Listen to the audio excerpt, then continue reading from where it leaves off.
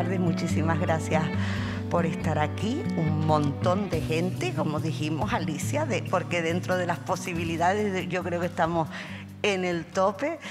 Eh, bueno, como saben, están hoy aquí en otro de los diálogos de escritura para escuchar, no cantando hoy a Alicia Ramos, sino hablando de su novela, El último vándalo, que yo sepa que es una novela que ganó el premio en el año 2019 el Benito Pérez Armas, pero que por todas estas circunstancias extrañas ha venido a salir a la calle ahora y esperemos que además eh, salga en muchos más ejemplares de la primera tirada, porque si no se van a poder, se van a quedar sin poder disfrutarla en muchísimos puntos de todas las islas y no sería cuestión y de todo el país. Un poco extraño que alguien llamado Isaac Legarza esté presentando a Alicia Ramos en Tenerife porque Alicia es sumamente conocida, pero bueno, como saben, yo también soy de aquí y pasamos a la presentación. En primer lugar, Alicia, felicidades. Gracias. en primer lugar. En segundo lugar, lo de las canciones, pues ya veremos, pero en principio es no. Como saben ustedes, la primera vez que estuvo Marta Sanz en la librería, una periodista isleña confundiéndola con Marta Sánchez, le preguntó en la entrevista si aparte de presentar su primera novela iba a cantar. Y ella El dijo, himno. y ella dijo que si se cuadraba lo cantaba, si cantaba algo y salía por peteneras. Pues hoy Alicia viene sin guitarra, pero viene, como dice ella, en más de una entrevista muy novelera, más novelera que novelista, a contarnos cosas de esta extraordinaria novela con la que me he reído muchísimo por el humor peculiar que tiene Alicia, con la que he tenido que reflexionar mucho sobre el tema este de estar con la cabeza bien alta o con la cabeza en el suelo, no con los pies, sino con la cabeza en el suelo, y, que por desgracia es algo que con frecuencia podemos ver, y con el que he aprendido muchísima historia de Canarias y, y contrahistoria o parahistoria, ¿no? Porque eh, cuéntanos, ¿cómo te planteaste tú esta especie de disparate que luego no lo es? No sé. Eh, lo bueno de escribir, y les animo a que lo hagan, es que es gratis. Tú puedes escribir en tu casa, si te pasas de hora no te cobran extra, y puedes estar ahí escribiendo y las cosas empiezan a, tener sentido y a tomar alguna coherencia, y se van proyectando en esas líneas tus obsesiones, tus preocupaciones, y cuando terminé de escribir esto y vi que era una unidad coherente para lo que yo soy, me, me dije muy pomposamente, es una novela sobre la identidad. Hoy ya no me la tomo tan en serio, pero sí abarca un montón de temas eh, tangenciales y aparentemente inconexos que definen la identidad. Y voy a hacer referencia a un personaje que está todo el rato apareciendo y desapareciendo, que se llama Edna Riobo, que no me di cuenta de lo que significaba hasta que había terminado ya de escribir aquello. Es una muchacha negra de la etnia Bubi, de la isla de Bioko, pero es albina y es profundamente madrileña. Y, y- y- me, venía bien para todo, la metía en todo sitio porque me venía bien en, en todo. De repente, mira, aquí meto a esta muchacha y me soluciona este tema. Y después me di cuenta de lo que significaba la construcción compleja de las identidades. Y creo que he logrado manejar estas cosas con, sin, sin ser pesada, sin caer pesada y estar hablando ahí de cosas que esta señora, dime qué me importa. Bueno, yo creo que lo has logrado perfectamente y pomposa o no, sí considero que eh, lo que le da, lo que nuclea, lo que le da toda esa coherencia a la novela es precisamente el tema de las identidades. ¿no? Tú, tú empiezas eh, hablando Candelaria sin todavía haberse presentado con una brutalidad de frase que dice, ves la realidad cuando das con la cabeza en el suelo.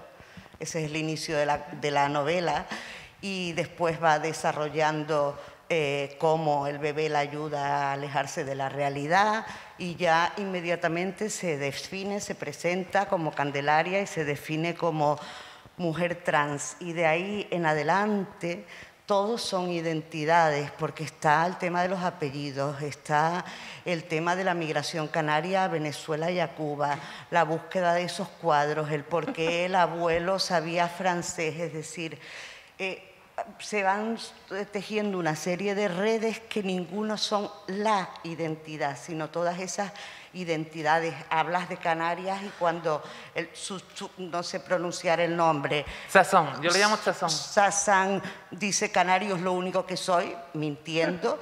pero, pero lo, lo dice y entonces identifica a Canarias precisamente como una sociedad multicultural. ¿Todo esto estaba desde el principio o simplemente eh, tú vas contando cosas, hilando y, y llegas a un desenlace? Había un plan de la obra y me dediqué minuciosamente a traicionarlo en cada párrafo y conseguí que no quedara de él nada. Eso es fundamental. O sea que el esquema inicial de la obra lograste también cambiarle su identidad o tal vez la propia obra fue mutándose, ¿no? Pero sí había unos personajes predefinidos, quiero decir, está, no todos, pero está Candelaria es una voz muy singular y muy, y muy potente y que enfoca la realidad desde, desde la cabeza en el suelo y la necesidad de separarse de la realidad con una elegancia exquisita y siempre además eh, utilizando palabras canarias de vez en cuando y situándose en el sitio, en los bares de Madrid, en los y supongo que el personaje estaba ya, creo, o sea, que, que, Candelaria era como la prota, era algo que sí formaba parte de la idea inicial. Sí, Candelaria sí. Y una de las eh, fuerzas que mantuvo viva la narración mientras iba creciendo era la oportunidad de ir a sitios, volver a lugares, eh, ver a personas que a lo mejor ya habían muerto, como por ejemplo Itzemin, que estaba muerta cuando la, escribí, no se llamaba así en la vida real, se llamaba Sandra Bremer, y había una especie de era un momento de mi vida en el que yo no podía viajar como quisiera, ni podía comer. ¿Te das cuenta que la gente está todo el rato comiendo cosas? Y que escriban, es fantástico. Puedes vengarte de la vida. No puedo ir a Alemania, como que no. Sujétame el coata. Mm, y después, para no perder completamente el norte hay una serie de personajes como Tinixara Guanche que existen realmente y se llama así y es una buena amiga desde hace millones de años. Y un abrazo para ella. Y un tal Momo que es un personaje que un día te lo presentaré. Y el bebé existía realmente. Snorri Hunrik Ramos era un, bebé, ahora tiene nueve años y es un bandido. Eh, era, un bebé del que yo era niñera durante una parte del tiempo que estuve escribiendo esto. Y, cuando no has sido niñera nunca, ni has tenido un bebé ni nada, y de repente te ves 24 horas al día con una criatura que depende de ti para todo, dices, yo llevo muchos años en este planeta y te voy a enseñar todo lo que no sabes. A los 10 minutos, 8 minutos dice, colega, acabas de llegar y te acuerdas de todo lo que yo ya he olvidado, enséñame. Y, claro, todo lo que aprendes de una criatura tan blanca y sin mácula es oro. Y quise que estuviera ahí. Sí, porque esa es otra de las identidades que planteas, eh, importantísima, que es el tema de la maternidad. Y, y, de hecho cuando terminas el primer capítulo diciendo que a lo mejor esta novela va de por qué tengo un bebé, es decir, ya, ya ya tú te has definido como mujer trans al personaje, a la vez eh, has visto que llevar un bebé te libra de un montón de malos rollos, ah, porque llevar un bebé eh, pues siempre parece que, es un pasaporte de que eres una persona fiable, ¿no? Y pero llegas incluso a decir eso, a lo mejor la novela de lo que va es de contar por qué tengo un bebé. Y sin embargo no va exactamente de eso, pero sí es verdad que se ve y se ve con muchísima ternura lo que acabas de decir, es decir, que no es el bebé parido, ni deseado o no deseado, ni buena ni mala madre, solo es la adulta que es capaz de aprender de ese bebé y de dedicarle el tiempo que requiere, ¿no? Claro, y, vertebrar el resto de sus actividades vitales en función de las necesidades inmediatas, insoslayables, impostergables de esa criatura concreta que es un trozo de carne palpitante que está allí. Y es ahora. Exacto, eh, exacto. Eso, eso lo, yo creo que lo, lo, defines muy bien, incluso cuando vas al súper a coger los potitos esos horribles y, se debería probarlo, pero no. Y, pero eh, sobre todo esa, esa dedicación y aunque el bebé, depende del momento de la novela, va pasando a primer plano o a último, pero siempre está ahí Snorri como eh, esa personita que al fin y al cabo te, te permite, escribes tú, no volver a la realidad, sino tomar distancia de la, de la realidad mm. cruda esa de la cabeza en el suelo, ¿no? estar en una realidad más deseada. Este Snorri, que en realidad se llama Iván Delgado Matarrubia, ya como así, fuerte, mm, recuerdo y, está ahí de alguna forma, recuerdo el día en que me miró y dijo, agua, sabiendo que estaba diciendo agua y sabiendo, utilizando el, lenguaje, apoderándose del símbolo y, de, y, me pareció, claro, es muy bonito, es, oh, ha dicho agua. Pero después dice, oh, ha entrado en el mundo de la de las mentiras, de, los símbolos que significan lo que no son y que al final tomas el símbolo por lo que es y no lo que es. Y ah, ah, no sé, es, una alegría y un duelo juntos al mismo tiempo. No sé.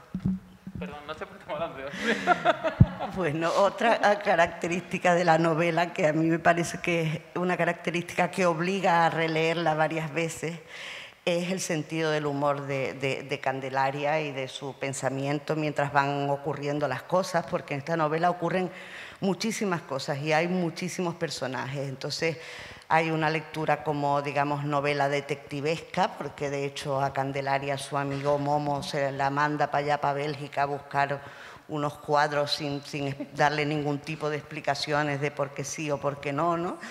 Y, la novela se va construyendo de manera que todo eso cobra sentido. Pero más allá de ser detectivesca, más allá de todo el tema de las identidades y de la enorme eh, cantidad de información sobre la cultura de Canarias, hay un primer plano en el que el humor es tan fuerte que puedes perderte, por eso digo lo de que recomiendo varias lecturas, porque el personaje de Candelaria es tan, tan rápido mentalmente ¿no? y tan curioso cuando le encargan algo y, transfiere también sus pensamientos al texto que puedes pegarte riéndote pues toda la noche mientras lees. Candelaria es muy borde. No, yo no. O sea, porque como es en primera persona, yo, no soy así de chunga. no vayan a pensar eso. Cuando tengo, tenía un amigo muy querido, muy querido, muy querido, que se llamaba Juanjo, que era agricultor, entre otras muchas cosas, era agricultor, ecológico y tal. En casa no se comían otros garbanzos que los de Juanjo. Y se murió este verano, fue doloroso, la gente no hagan amistad conmigo. Todo el mundo cerca de mí se muere más pronto que tarde. Verá. Y entonces Juanjo, no, no es para tanto, ¿eh? Entonces Juanjo, poco antes de morir, hizo una cosa rara de las que Juanjo nunca hacía, que era una cadena en Facebook. Y entonces decía a todas sus amistades, eh, cuelga una portada de un libro que te haya marcado tanto física como anímicamente y bla, bla, bla, durante 10 días. Y yo me acordé de un libro que había en la, biblioteca infantil juvenil de, de, del del Parque de la Granja, cuando el Parque de la Granja era un solar, que daba, solar que daba el sol porque los árboles no tenían ramitas, fue hace muchos años. Y ahí en la biblioteca había un librito que nos marcó a mí y a todas mis hermanas, que se llamaba El gato, el misterio del gato anaranjado. Y yo me acordaba de que ese libro me había marcado mucho y lo busqué eh, inútilmente durante décadas y no lo encontraba. Un día, de hecho un día mi hermana la mayor, hace 20 años, le pregunté por el libro, ¿te acuerdas? El otro día me fui a tocar a no sé dónde, en el sur de Alemania. Y, era una abadía y el abad me dio la biblioteca para que yo me cambiara y me preparara para el concierto. Y estuve hojeando los libros y me encontré El misterio del gato anaranjado en alemán. No recuerdo si el abad se lo regaló, en su caso si ella lo aceptó o no, pero no viene al caso porque yo en alemán no leo. Candelaria sí. y, y, bueno, no, nunca encontré el libro. Y entonces puse esa portada que la busqué en internet, pim pam, pim pam. dije, este libro me marcó mucho, pero no, no me acuerdo yo, Juanjo, de por qué. Y una amiga que se llama Ana Ducas, que me cae muy bien, una chiquilla, bueno, chiquilla tendrá 30 años, para mí una chiquilla, lo buscó, lo encontró en una app de estas de venta de segunda mano, encontró el libro, lo compró y me lo mandó por correo a mi casa, era cuando, el, justo después del confinamiento. Y me lo leí y una cosa que me llamó mucho la atención era que el libro había sido escrito por 10 autores y autoras diferentes, muchos de ellos y de ellas de países que ya no existen, como Checoslovaquia, eh, la Unión Soviética o, Yugoslavia, y, y que los 10 capítulos del libro estaban escritos desde 10 personas diferentes y el tiempo que me llevó a escribir esta vaina fue mucho, no, no, no porque me costara, sino porque digo, oh, coño, ¿te acuerdas del cuento aquel que estaba escribiendo yo? Y volvía y yo ya era otra. Hacía otras cosas, tenía otras circunstancias personales, vivía en otro sitio y, dije, mira, esto tiene mucho que ver. También en el libro del misterio del gato anaranjado, madre mía, estoy hablando del misterio del gato anaranjado. Nunca seré una escritora seria. Em, había cuadros había que encontrar un cuadro, no, no había que encontrar cuadros, había que encontrar los personajes de los cuadros porque se fugaban, luego la fantasiosa soy yo. Y, vi que había muchas cosas del puto misterio del gato anaranjado en mi libro, después de tantos años. Esto igual no debería contarlo, olviden esto. Pero bueno, esa, esa lectura compaginada con tu escritura también hizo a lo mejor a Candelaria menos borde también, o más, más, más consciente del tema de misterio aquí. Aparte de todos los temas que ya hemos dicho y que desde luego, aunque digas tú lo contrario, hacen que la novela sea una gran novela y prueba de ello es que el premio Benito Pérez Armas, como todos y todas ustedes saben, es uno de esos premios que ha quedado desierto en alguna ocasión. Quiero decir que no se otorga o no siempre se otorga por compromiso, de manera que cuando se gana algo, algo debe haber, ¿no? Y otra de las cosas que hay es ya no solo el tema de las identidades, sino tu compromiso con la, con la reivindicación de la antiprecariedad o tu compromiso con la, con la pobreza. No solo Candelaria mantiene el frío, de cuando pasaba hambre y ese frío la persigue, sino que eh, llega un momento ya casi mediado el libro en que se habla de, de lo que es un sistema de piratería global y ante la pregunta en qué consiste la racia total, la respuesta es, resumiendo mucho, consiste en que tú cobres 600 euros por trabajar 8 horas cada día, pagues un porcentaje importante de ese dinero por tener un sitio donde vivir, que el banco te cobre lo que le parezca por colaborar en ese expolio continuado y encima te sientas afortunada. No, me acordaba de esa parte, pero me encanta. sí, sí. Y encima, bueno, hoy lo hablábamos en, en la comida, ¿no? Este, este sentirse afortunada que también refleja Remedios Zafra en el entusiasmo, ¿no? Me encantó. Y estoy viendo que aquí tienes este, el, sí, el que te lo voy a comprar mañana. Remedios Zafra, léanla, es una, una cosa bárbara, es una, una tipa eh, lucidísima, agudísima, y que pone el dedo en la llaga y luego hace así. Y Alicia, tú dices que, bueno, que ese esquema general lo traicionaste, pero la novela tiene muchísimos personajes. Entonces, eh, yo supongo que para lograr la coherencia que tiene, habrás tenido que sí que hacerte, aunque lo traicionara, una especie de, esquema cuando entran o cuando salen, o, cuando se casa Candelaria, o cuando está, eh, porque tiene tanto movimiento y tanta gente moviéndose que yo pienso, Dios mío, si yo tuviera que escribir algo similar, aunque fuera por imitación, terminaría poniendo a Vicente en Canarias y no en Madrid, me confundiría y Momo ya no trabajaría para el gobierno, sino que estaría en un bar, porque es como mucha gente la que vas moviendo, ¿no? ¿No era consciente de esto? Eh, no, no era consciente yo de esto? ¿Es mucha gente? Sí, aunque no se puede hablar de una coralidad así, pero son muchos personajes y no hay errores en esos personajes. Quiero decir que no solo mantienen sus características físicas y psicológicas, sino que entran y salen de, los capítulos y de la trama eh, en sus tiempos y, no hay, y te digo, no hay errores porque todas y todos sabemos que hay, que hay novelas en las que sí se detectan esos errores y a mí me parece normal, pues que de pronto bueno, que no te acuerdas de que alguien ha muerto ya no es tan normal, pero que, que, no te acuerdas que lo dejaste en Madrid en una situación y luego lo has puesto en otro lado, sí, y tú eres absolutamente impecable, Chasira, si está donde está. No, no, había pensado en esto, mi vida está llena de gente, y, y, llena de gente que, que, que, es muy, muy importante para mí y que a lo mejor entre sí no se conocen, que es lo que me, a veces me sorprende, estaba, salió hoy en, en la comida gente que es muy importante para mí y que a lo mejor se han visto así de vista,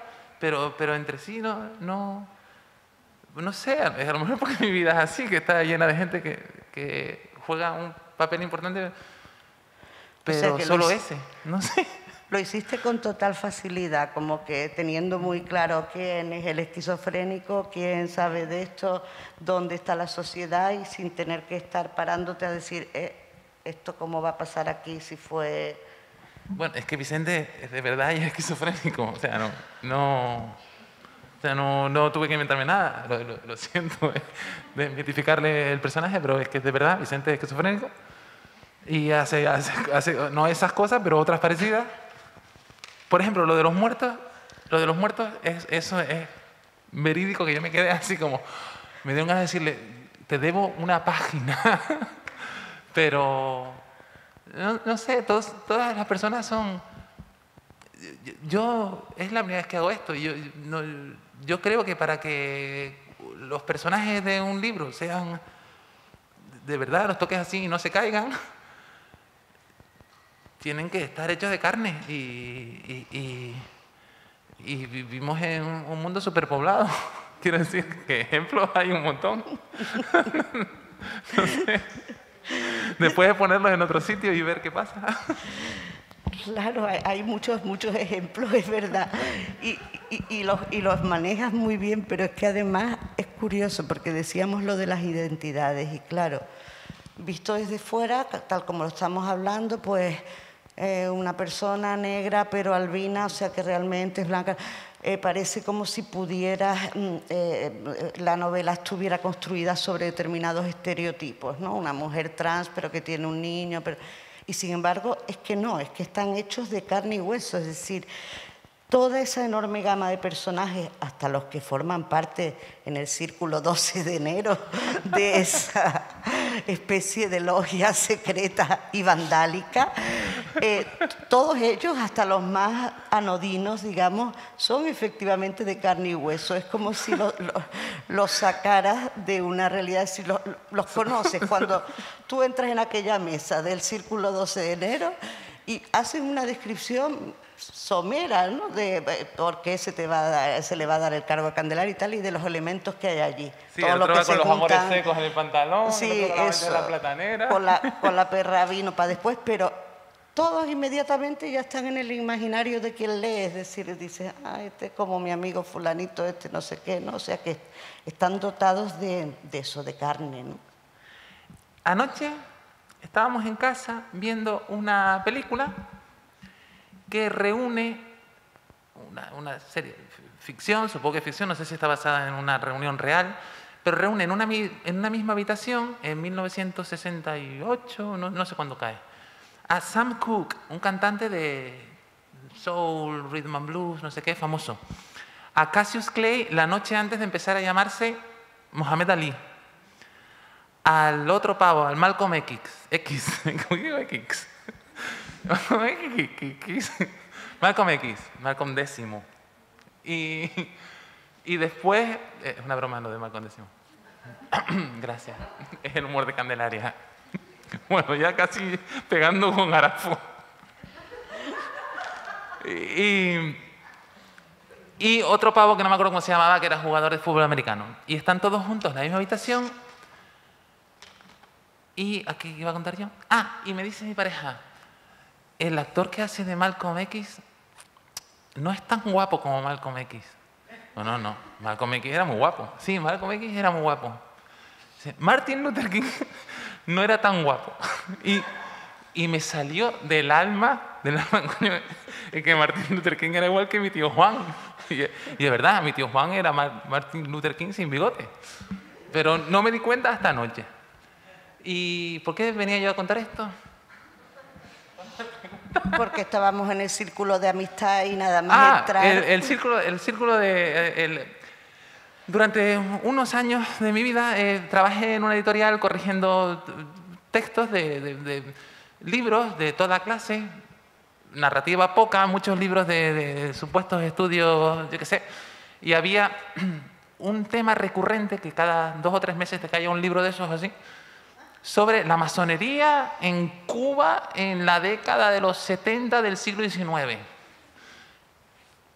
O sea, me leí tochos así sobre masonería y yo a día de hoy no sé bien a bien de qué va la masonería. Porque hablaban de abatido columnas, eh, hablaban de las cosas internas de la vidilla, de las personas que estaban allí, cómo se peleaban, pero lo que hacían una vez que, que habían levantado columnas, ahí no te enteraba. Pero toda la, la mecánica de, administración de, la de las logias, esa sí, sí, sí la mamé bien. Y quise reflejarla en la fundación, de, que fue por esa época, de la logia vándala, a la que, además me hace mucha gracia que la llames logia, porque ellos no se llaman logia, ellos no, son masones.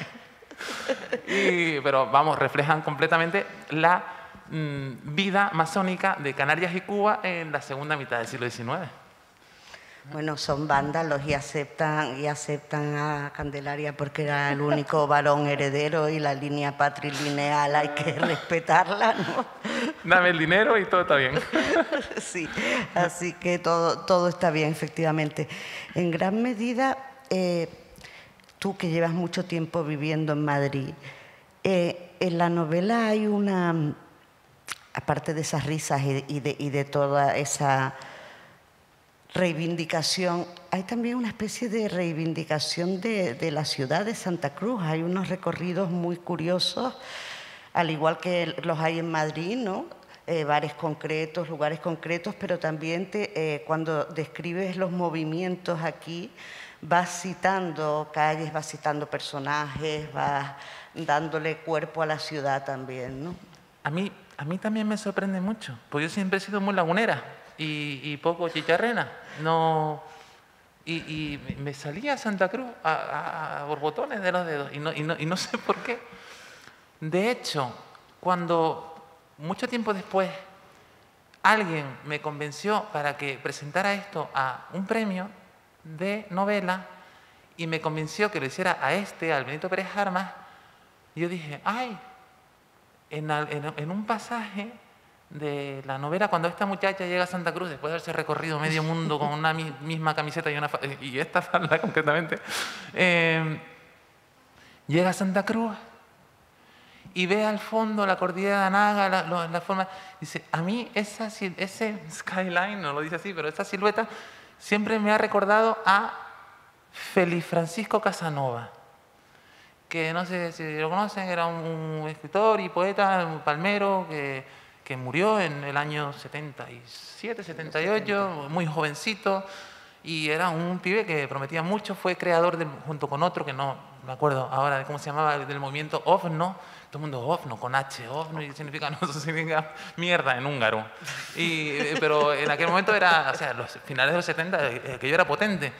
Y este pibe ganó con una novela que a lo mejor se llamaba El don de Borache, que la leí porque me interesó el personaje, y había ganado con esa novela el Benito Pérez Armas de el año Catapum Chimpum. Y digo, eh, qué casualidad, sí, vamos a presentarla eso.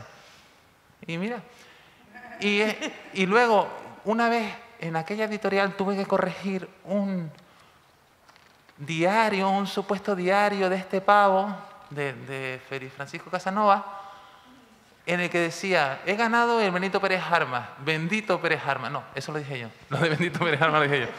Pero no sé, me, me, me pareció una casualidad interesante.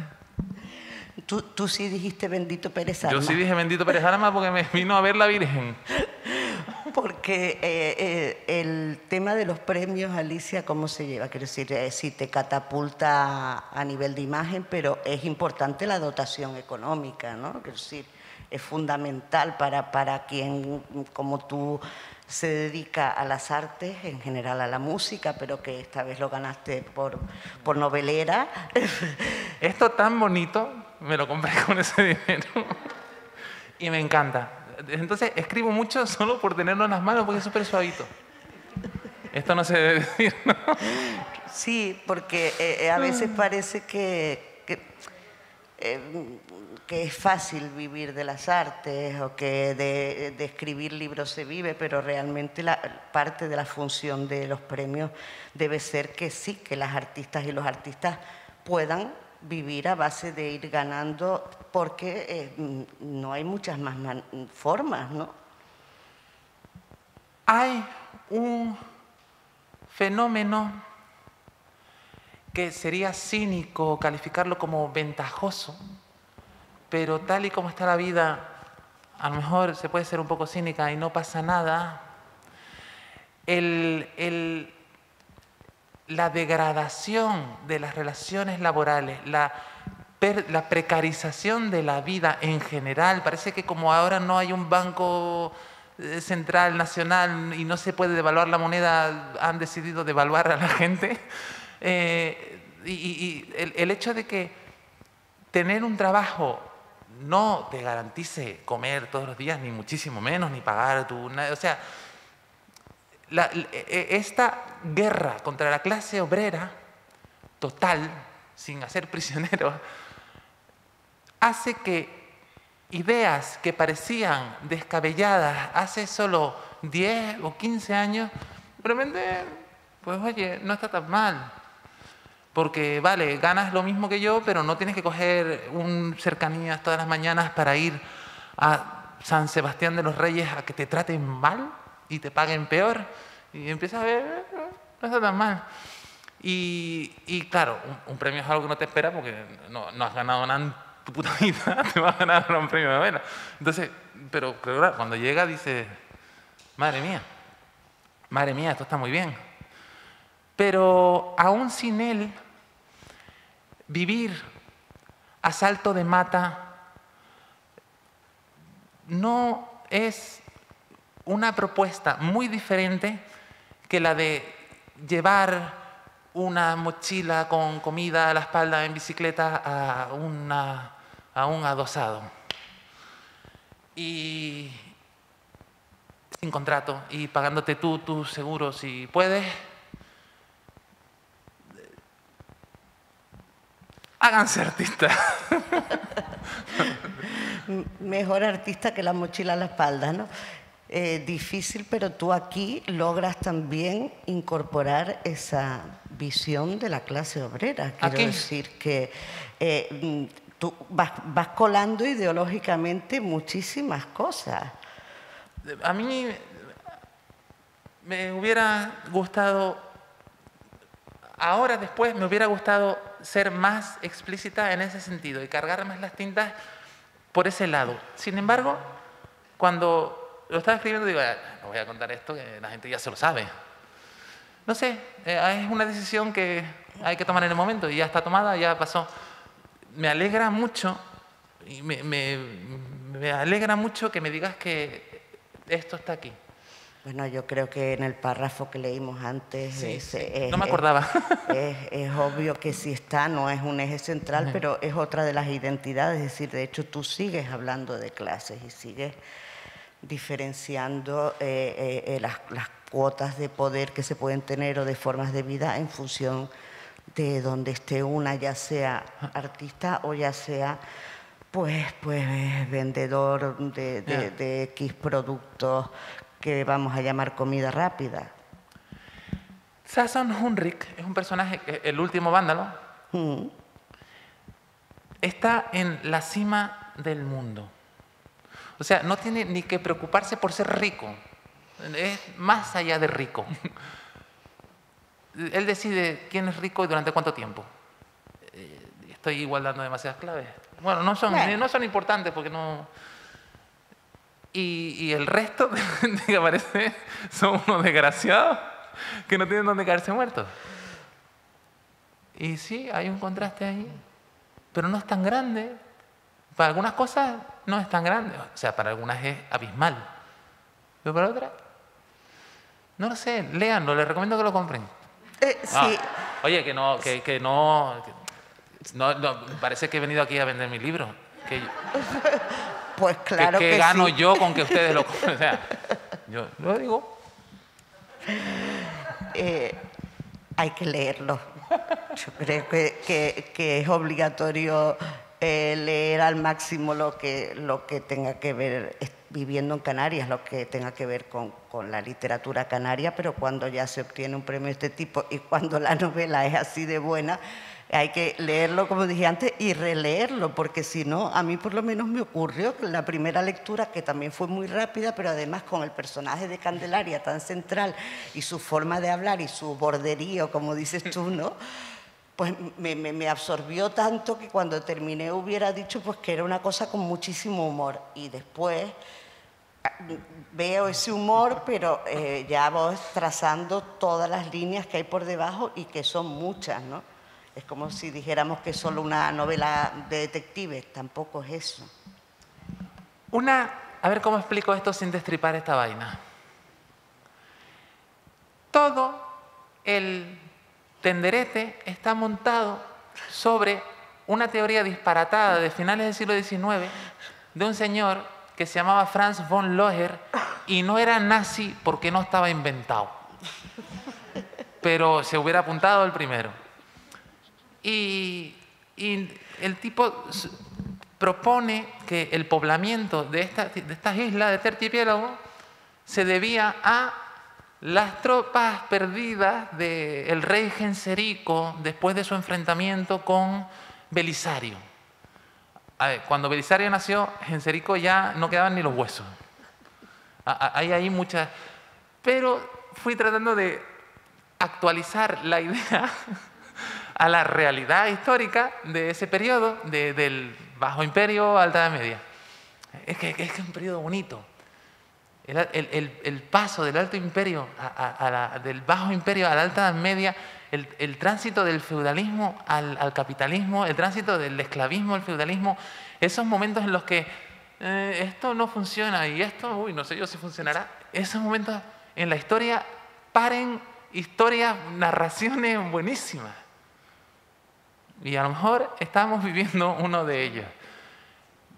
Porque a veces una ve los movimientos del capital, del gran capital, eh, eh, las estrategias que, siguen quienes pueden invertir mucho dinero en una cosa o en otra, Y, y dice, ¿esto es capitalismo? ¿De verdad? O sea, si vamos al capitalismo de Adam Smith y, al liberalismo, ya, esto, ya, esto ya no es capitalismo, esto es otra vaina. Pero, ¿qué es? Y creo que es el derrumbe, la, el colapso, el colapso. Y si hay un colapso y no hay nada que lo sustituya, no sé seguir. Sí, estamos en uno de esos momentos, claro, de, crisis y de cambio que son los que dan lugar a, todas estas teorías especulativas y que tú ahí plasmas extraordinariamente bien, porque es que además pasa de, de toda la seriedad histórica a que en realidad pues hay personal del gobierno de Canarias metido detrás, es decir, hay gente buscando ese supuesto tesoro y además de forma muy, muy, muy oculta, como para que la ciudadanía no sepa que, eso está ahí, pero que sí está y se moviliza dinero y se moviliza personas que viajan y que vienen y que van y que además tienen después a su vez sus archienemigos, es decir, ahí sí que hay una construcción eh, fantástica, y, pero con un montón de cosas eh, que tienen sentido. Que... A mí una, una, cosa que me divertía mucho y procuré no hacerla demasiado porque es que me, lo pasaba demasiado bien y digo, esto no puede ser bueno, era cuando eh, voy, vas convirtiendo en un personaje en sospechoso de... que tiene, tiene que ser, la, la, nota esta es la que lo está moviendo todo. Y luego empiezas a acercarte al personaje y ves que no solo no, es, no está moviendo nada, sino que está más perdida que tú. y que está a otra cosa y, dice, y eso me gusta porque creo que en la vida es así. O sea, este va a ser el que lo está moviendo. no tiene ni idea de nada. Y, es terrible porque empiezas a ver, esto no tiene el detrás tampoco tiene el. Y entonces, ¿qué? Entonces, ¿qué? Me, me encantaría terminar estas frases, pero no me sé lo que viene luego. Lo siento. Claro, es que, que eh, esa, eh, por una parte están las teorías conspiranoicas que en Vicente son muy reconocibles, pero por otra parte está cómo cualquiera de nosotras, de nosotros puede caer en ese, en ese pensamiento de mi enemigo está allí, ¿no? Porque, porque creas muy bien todo ese rodaje y como está es tan enigmático y se va modificando la información que obtienes de forma fragmentaria, pues entonces ya no sabes si el de enfrente sabe un montón y no te lo ha dicho, si quien vive contigo, es como una, en eso eh, sí que es totalmente adictiva, ¿no? Porque además eh, eh, empezamos viendo algo que es de un pintor que, que no te dice ni fu ni fa ni nada, pero después tiene que ver con la historia de los aborígenes, pero con esta teoría de que venimos, sobre todo yo que el pelo rubio, los ojos claros, altas, eh, de, de, los vándalos, pero además luego se vuelve a entremezclar con el tema de la momia y, y, vuelve al tema de la identidad incluso sexual de la momia, cómo se la ha variado el vendaje, entonces tiene que ser ese, porque si, entonces es todo como, Dios mío, ¿a dónde voy? ¿Qué voy a encontrar ahora? ¿no? Eh, vamos hasta Cancún incluso. ¿A Cancún? A Cancún. A Cancún pero además... En el siglo XII. Exacto. Que es cuando estaba bueno aquello. Para invertir. Todo virgen. En el siglo XII, que es maravilloso estar en Cancún en el XII. Me encantó lo de Cancún. Eso y el viaje que hacen por todo, atravesando todo el continente de este a oeste, de África. Ese, ese, me encanta, porque, porque me podía inventar los animales que quisiera. Ese era divertido, sí. Bueno, aparte de leer el libro, yo supongo que sí querrán hacerle preguntas a, Alicia.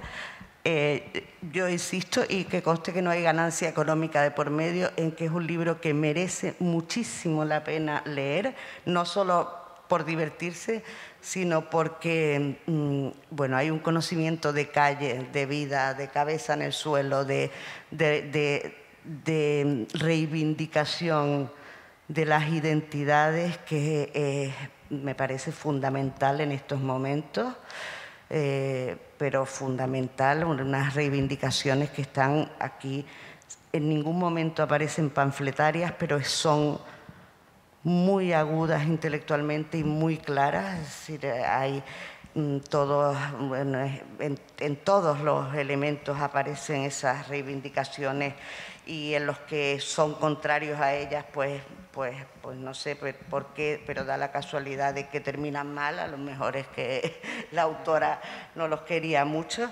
Eh, hay todo un viaje de la noche y también hay todo un viaje por África, por Europa y hasta por, por parte de América y, desde luego hay después esa, esa capacidad no solo de observación sino de honestidad y de aprendizaje que el personaje muestra a través del bebé pero que muestra también en sus relaciones con, otras, con otros personajes. ¿no? Es decir, hay una una candelaria que por borde que sea, eh, guarda siempre un rinconcito, incluso aunque, aunque ponga un muro con su amiga Edna, después el muro cae porque la, bondad de Candelaria está por encima del borderío de su lenguaje y de sus reacciones. Entonces creo que es un personaje interesantísimo, un, un una protagonista transexual, ya solo eso creo que eh, en Canarias vale la pena eh, apostar por la novela, pero es que además no es, como dije antes, un, canto a la transexualidad, es simplemente que...